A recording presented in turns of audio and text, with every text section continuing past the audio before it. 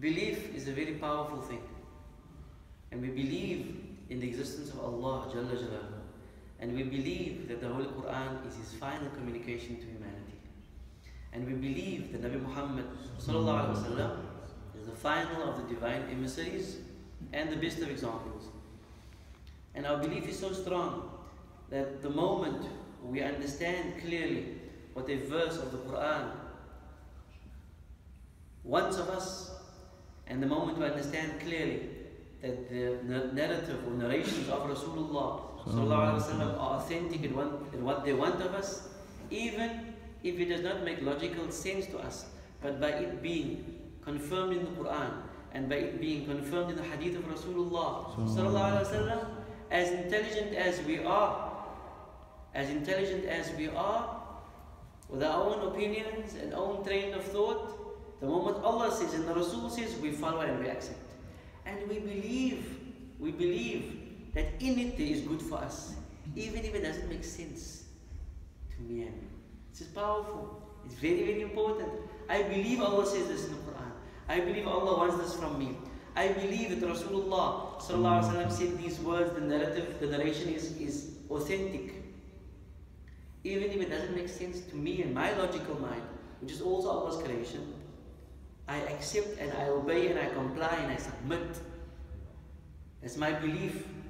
And I understand that there's good in it for me. And Allah says, there are times when you may dislike or be hesitant regarding things, but it is good for you. And there are times when you like things and love things, but it is not good for you. And Allah knows, and you do not really know. Allahu ya'lam wa antum la ta'lamun. So whether it is from the simplest of things that we've come to accept, and when you're younger, maybe you think about this more than often, more than when you're older. Why is Fajr two rakat and Maghrib three and Isha four? Why wasn't all just two? Why were all not just four? Uh, why wasn't it five? Because we have five times Salah, one is five rakat. And then how come seven times around the Kaaba? How come only Ramadan oh, fasting? And then why Hajj is in that period of the year, not that? All those unnecessary things. So this hadith we're busy with is very important. We started with it, Abu Hurairah radiallahu anhu. His name was Abdul Rahman, Abdul Rahman ibn Sakhr. In the rest of Nabi Muhammad said, whatever I have commanded you with, do it. And whatever I prohibit you from, abstain from it as much as you can. Then he said, beware. One of the most dangerous things you can start doing, which is something that caused the, destruction of previous nations, is your abundant unnecessary queries and questions. Unnecessary. Okay? More than that also, differing and opposing their prophets. Uh, Nabi says so, but no, come and so. Ali said, Ali said, if deen, this deen of Islam, had to comply with your logic and mine, then the bottom of the hoof would be more entitled to be wiped than the top. But when you're wearing your hoof, your leather sock, and you come to that part when you abdas, where do you wipe, sir? Top. So, But you're walking on the top, you're walking on the bottom, sorry. Yeah. then urine is najis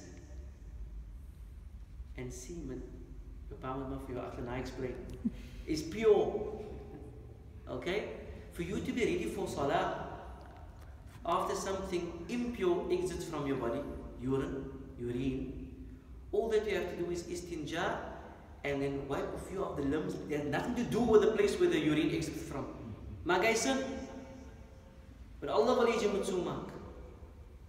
And then, if semen exits your body, which is pure, we'll discuss it again from Muhammad. If semen exits your body, which is pure, for you to be ready for prayer, you cannot just make istinja the place where the semen exits from. No, no. You have to wash your entire body. Pure exits, you have to wash your entire body. Whereas najis, urine exits, you have to make istinja there and a few other limbs. Like I said, but Allah wants. Ah. And in it is good for you and me. So a necessary question, this hadith speaks about the moment Quran says, the moment hadith says, we are pleased, sami'na wa ata'na. We have heard and we obey. May Allah accept and grant us tawfiq. And grant us true knowledge and open the doors of knowledge of understanding of His book and the sunnah of His Habib sallallahu alayhi wa sallam to us all.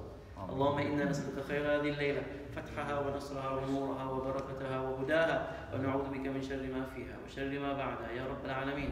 وسلام على المرسلين. الحمد لله.